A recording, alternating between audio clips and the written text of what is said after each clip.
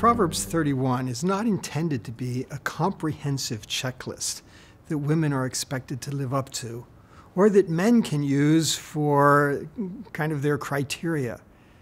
It rather offers us a composite. If women are involved in this kind of activity, then this is what wisdom would look like. If they're involved in this kind of activity, then this is what wisdom could look like.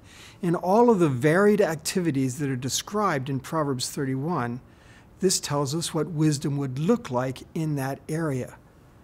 It's not a suggestion that women are supposed to do all of them or be involved in all of them. And so, therefore, it's not trying to tell you all the activities you should engage in. It's rather showing you what wisdom is supposed to look like if you are in that situation.